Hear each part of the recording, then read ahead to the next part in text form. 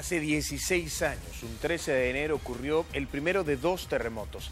Ese en particular dejó en ruina la zona de las colinas. Fue, por cierto, de las primeras coberturas que este servidor hacía como periodista y todavía hay imágenes ahí que no puedo olvidar. Imagínese usted cómo lo viven quienes perdieron ahí un familiar, un hijo, un padre, una madre. Hubo una ceremonia previo a la conmemoración de esta fecha y estas son las imágenes.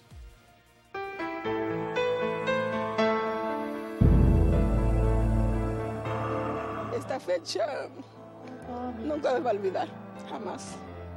Para doña María es imposible contener las lágrimas al recordar a su madre y hermano, quienes murieron soterrados aquel sábado 13 de enero de 2001, cuando un terremoto de 7.6 grados provocó el desprendimiento de un gigantesco a luz de tierra de la cordillera El Bálsamo, dejando literalmente sepultadas cientos de viviendas de la colonia Las Colinas en Santa Tecla. Duro cuando nos dijeron lo que había pasado.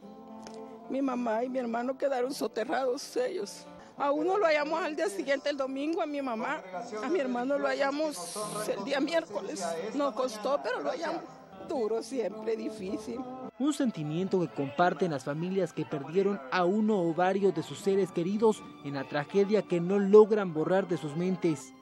Para estas personas, el dolor continúa siendo el mismo aunque ya han pasado 16 años desde aquella tragedia que marcó sus vidas. Un dolor así no se supera, pero se aprende a vivir con el dolor. Fue una tragedia para la familia bien difícil de superar, pero con el tiempo y pues con la ayuda de Dios, porque sin Él no somos nada, este, pues se logra vivir con el dolor. Según estimaciones, el derrumbe de las colinas dejó más de 500 personas fallecidas.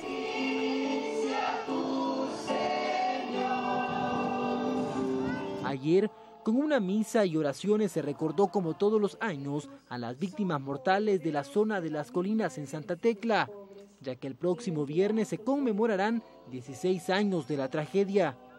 Familiares y amigos de las víctimas se abocaron a la zona del desastre para pedir por el descanso de las personas que fallecieron en el lugar. Aquí estamos siempre recordando, ¿verdad?, la muerte de ellos y estamos en el donde nosotros vivíamos. Aquí estamos, sí, aquí vivíamos, en este lote vivíamos.